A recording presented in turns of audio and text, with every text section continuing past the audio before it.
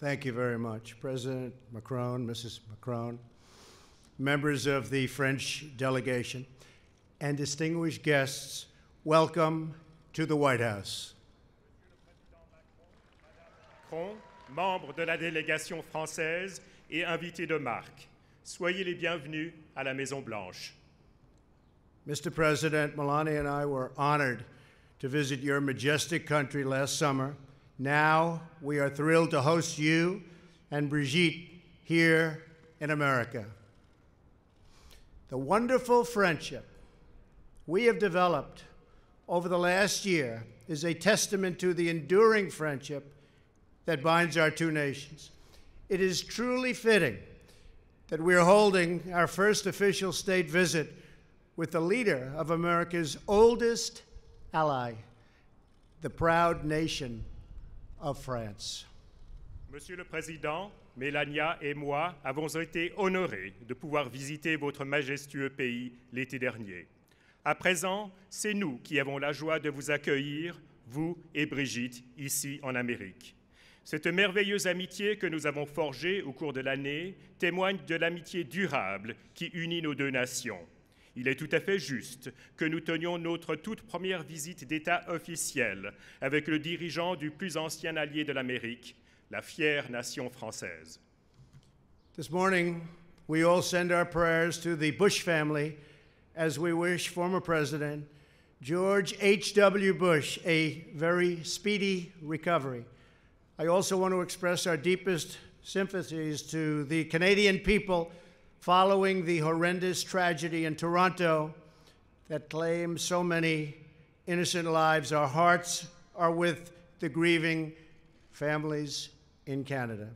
Je souhaite exprimer mes profonds sentiments d'amitié envers la famille du président Bush. Nous lui espérons une convalescence prompte et, et, bientôt. Et nous sommes également très touchés par les événements récents qui ont lieu, eu lieu à Toronto hier et nous sommes euh, très enfin, sommes proches de toutes les familles endeuillées. Your visit, Mr. President, comes at a critical time for our alliance. Along with our British friends, the United States and France recently took decisive action in response to the Syrian regime's use of chemical weapons. I want to personally thank President Macron, the French military, and the French people for their steadfast partnership. They were absolutely incredible. Thank you very much, Mr. President. Thank you.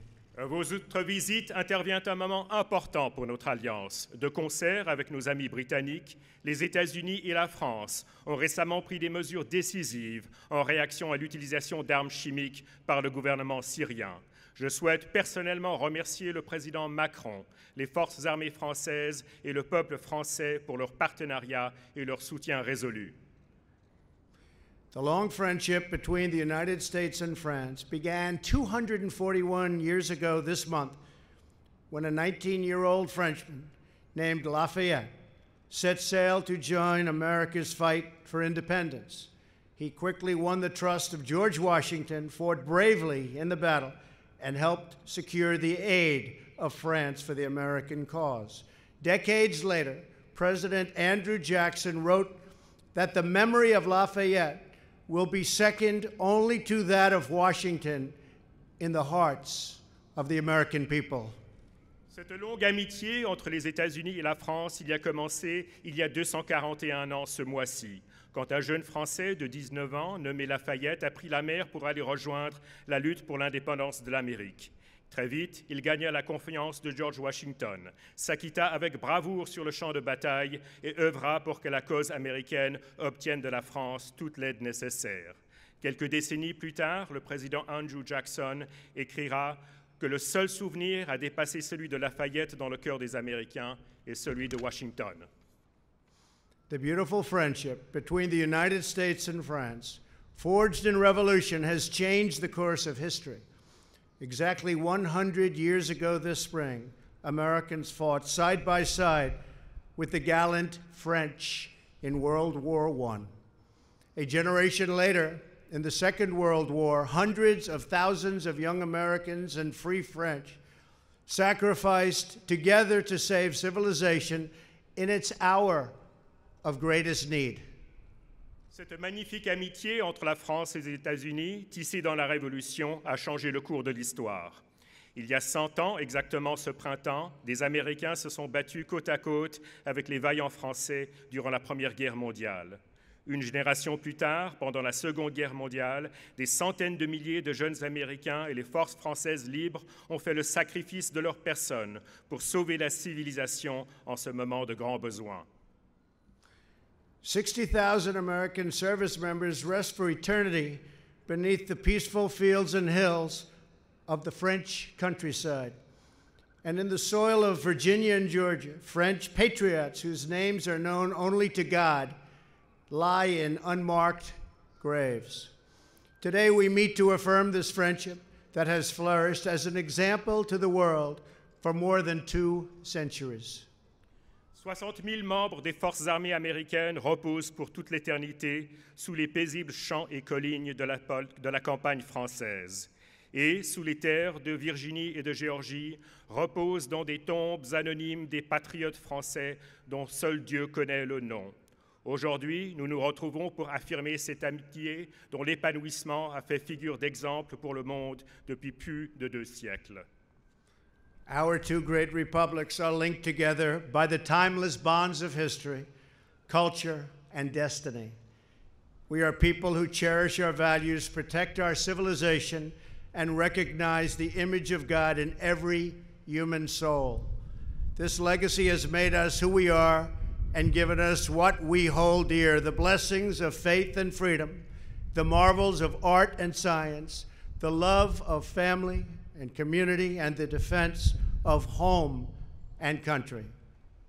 Nos deux grandes républiques sont unies par les liens intemporels de l'histoire, de la culture et du destin.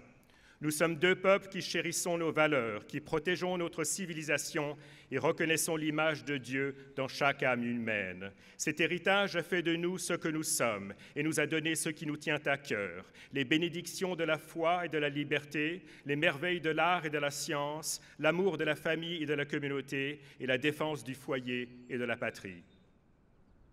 This righteous calling, this sacred heritage, is what moved a young Frenchman to risk death for American liberty at Yorktown. It is what spurred the Americans to storm the cliffs of Omaha Beach.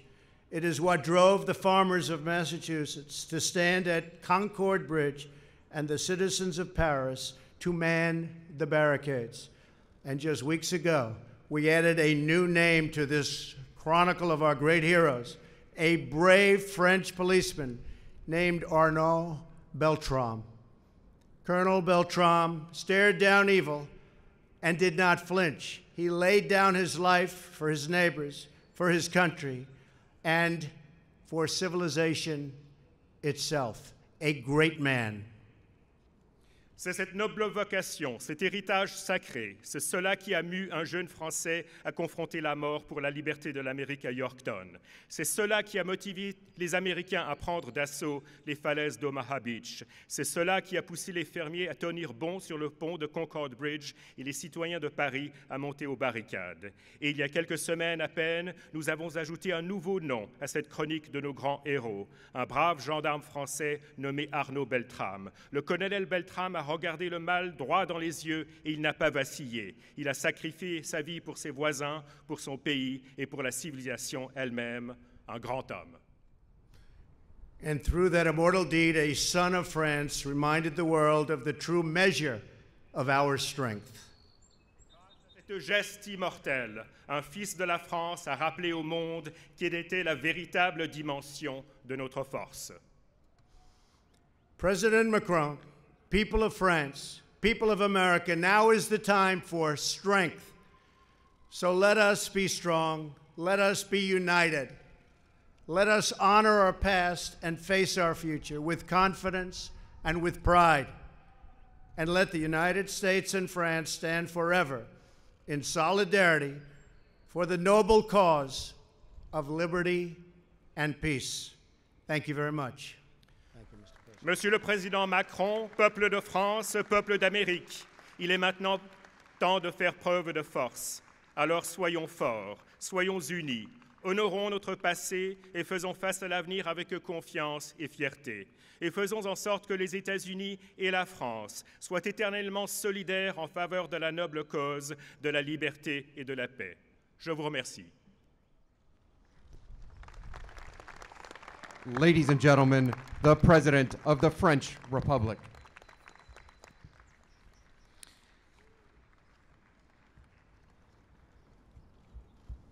Monsieur le Président, cher Donald Trump, chère Mélania, chère Brigitte, Mesdames et Messieurs distingués invités, je vous remercie pour euh, votre accueil et pour l'honneur que vous rendez à la France et à l'amitié franco-américaine, car cette visite d'État, la première de votre mandat, consacre la force séculaire des liens qui unissent nos deux pays. Mr. President, dear Donald Trump, dear Melania, dear Bridget, Mesdames et Messieurs, dear distinguished guests, thank you for your warm welcome and for honoring France and the Franco American friendship with this state visit, the first of your presidency, which bears witness to the strength of the centenary old bonds that unites our two countries? Permettez-moi, avant toute chose, de me joindre à vos condoléances et d'adresser ici les pensées du peuple français pour la famille du président Bush et de me joindre à la tristesse du peuple américain à l'endroit du peuple canadien suite à la terrible attaque survenue hier à Toronto. Dans ces moments aussi, nous nous tenons ensemble. But first of all, please allow me to join your condolences addressed to, by the French people to the Canadian people and to express our deepest sympathy for, to President Bush and his family. It is in these sad moments as well, and in these terrible circumstances and against these attacks, that we stand together. Il y a deux siècles, c'est le marquis de Lafayette qui était accueilli ici, de retour aux États-Unis, 30 ans après la guerre d'indépendance. Il était alors resté près de 14 mois parmi vous. Mon séjour sera malheureusement plus bref, mais il revêt une signification particulière pour moi comme pour l'ensemble de mes concitoyens qui nourrissent pour votre peuple, Monsieur le Président, des sentiments anciens, puissants et sincères. Two centuries ago, it was Marquis de Lafayette who was welcomed here back to the United States, 30 years after the War of Independence. At the time, he spent almost 14 months amongst you.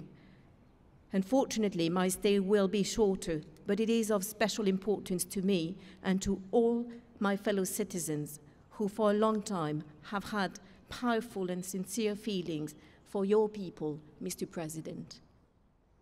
Dans l'Amérique, j'ai vu plus que l'Amérique, écrivait Tocqueville. Il y avait vu en effet une image de la démocratie elle-même, un idéal qui devait guider nos hommes d'État, inspirer le fonctionnement de nos institutions et reconnaître la place de l'individu libre. In America, I saw more than America, wrote Tocqueville. Indeed, in it, he acknowledged the shape of democracy itself, an ideal meant to guide our statesmen, to inspire the functioning of our institutions, and to acknowledge the place of free individuals.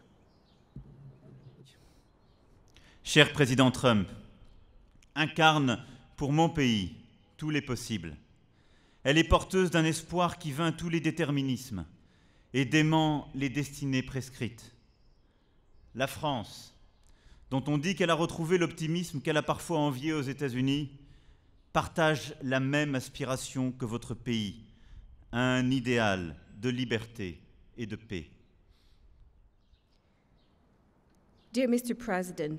America represents endless possibilities for my country. It brings about hopes that overcome all determinisms and prescribed destinies. It is said that France has renewed with the optimism it sometimes envied the United States. France shares with your country an ideal of freedom and peace. Durant les derniers siècles, nous avons tressé nos histoires au travers de combats communs où à chaque fois, ensemble, nous avons forgé l'Occident et aspiré à l'universel. Over the last centuries, we have weaved our histories through our common struggles, where each time, together, we have forged the Western world and aspired to universality. Par nos révolutions, dès le début, nous étions hier soir au Mount Vernon, à la résidence du premier président des États-Unis, George Washington, sur la tombe duquel, avec vous, j'ai tenu à m'incliner. Dans cette demeure, nous avons vu la clé de la Bastille que lui avait envoyée Lafayette, symbole de ce lien indéf- indéfectible. Through our revolutions from the very beginning, yesterday evening we were at Mount Vernon at the residency of the first President of the United States, George Washington, on whose tomb I wish to pay tribute together with you. Inside the mansion, we saw the key to the Bastille prison, which was sent to him by Lafayette as a symbol of this unbreakable bond. Par nos combats pour la liberté, ensuite. En cette année de commémoration du centenaire de la fin de la Première Guerre mondiale, j'ai souhaité vous offrir un arbre du bois bello, un chêne. Cette forêt du nord de mon pays où en 1918 se sont illustrés le courage et le dévouement des soldats américains et en particulier de vos Marines. This year, then through our struggles for freedom, this year, as we commemorate the centenary of the end of World War I, I wish to offer you a tree from Boisbelot, an oak. From this forest north of my country, where in 1918 US soldiers and Marines in particular displayed courage and devotion. Je suis heureux que cet arbre, qui a poussé à côté de la fameuse fontaine Bulldog, dans la terre où le sang de vos soldats a été versé pour défendre la France, que cet arbre désormais prenne racine ici, devant nous, à la Maison Blanche, en symbole du sacrifice et des combats communs que la France et les États-Unis ont menés ensemble. I am pleased that this tree, that grew close to the famous Bulldog in the soil where your soldiers shed their blood to defend France, can now take root here at the White House in front of us as a symbol of the sacrifice and the common battles that France and the United States have led together. Ces valeurs, héritées et partagées entre nos deux pays, constituent le socle sur lequel nous devons continuer à bâtir et à écrire ensemble, côte à côte, les chapitres de notre histoire contemporaine. Forger l'Occident et aspirer à l'universel, tel demeure notre défi aujourd'hui. These values, inherited and shared by our two countries, are the foundation on which we shall continue to build and write together, side by side, the chapters of our modern history. Forge the Western world and aspire to universality, such remains our challenge today. C'est ensemble que les États-Unis et la France parviendront à vaincre le terrorisme. La France et l'Amérique y sont toutes deux confrontées, sous des formes diverses, sur nos sols respectifs, au Levant ou en Afrique. C'est ensemble que nous endiguerons la prolifération des armes de destruction massive, que ce soit en Corée du Nord ou en Iran. France will defeat terrorism. France and America are both confronted to it in various forms on our respective soils, in the Levant, or in Africa. It is together that we will counter the proliferation of arms of massive destruction, be it in North Korea or in Iran. C'est ensemble que nous bâtirons une prospérité nouvelle pour nos peuples, qui passera par la recherche et l'innovation, par un commerce libre et équitable, et par la défense de nos classes moyennes. It is together that we shall build a new form of prosperity for our peoples, which means innovation, free and fair trade, and the protection of our middle classes. C'est ensemble que nous pourrons œuvrer efficacement pour notre planète. Je ne parle pas seulement du climat, mais aussi des océans, de la biodiversité et de toutes les pollutions. Sur ce sujet, nous pouvons ne pas toujours être d'accord sur les solutions, mais après tout, c'est le lot de toutes les familles, de toutes les amitiés. Mais c'est là aussi que notre avenir et celui de nos enfants se jouent. It is together that we will be able to act effectively for our planet. I'm not just referring to climate, but also to the oceans, to biodiversity, and to all forms of pollutions. On this issue, we do not always agree as to the solutions, but in the end, such is the case in any family and in any friendship. And it is also where the fate of our children is at stake. C'est ensemble que nous pourrons résister à la montée des nationalismes agressifs, niant notre histoire et fracturant le monde. C'est ensemble que nous construirons un nouveau multilatéralisme fort, défenseur du pluralisme et de la démocratie, tandis que se lèvent les vents mauvais. It is together that we can resist the rise of aggressive nationalisms that deny our history and divide the world. It is together that we will build a new, strong multilateralism that defends pluralism and democracy in the face of ill winds.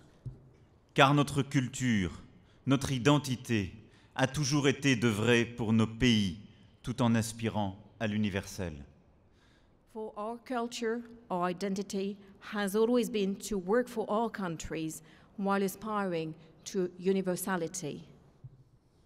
Notre amitié s'est toujours raffermie en se trempant à l'encre des défis qui nous dépassent. Nous en sommes là. L'histoire nous appelle. Elle impose à nos peuples de retrouver la force d'âme qui nous a portés dans les moments les plus durs. La France, et avec elle l'Europe, et les États-Unis ont rendez-vous avec leur destin. Our friendship has constantly grown more solid, dipping in the ink of the challenges we have yet to overcome. That is where we stand today. History is calling us. It is urging our peoples to find the fortitude that has guided us in the most difficult of times.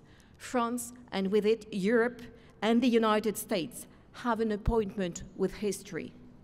Nous n'avons qu'un devoir, Monsieur le Président, cher ami, être à ce rendez-vous. We have but one duty, Mr. President, dear friend, to be at that appointment. Merci donc à vous, Monsieur le Président Trump et à votre épouse Melania pour votre invitation, pour nous offrir l'occasion, avec mon épouse Brigitte, de vous redire notre amitié et pour nous offrir l'occasion d'œuvrer ensemble à ce travail en commun. So thank you, Mr. President, and thanks to the First Lady for your invitation and for giving us this opportunity to work together towards that goal and for giving us an opportunity to express once again our friendship. Vive les États-Unis, vive la France. Merci. Long live the United States, long live France. Thank you. No, thanks to you. And thanks for that.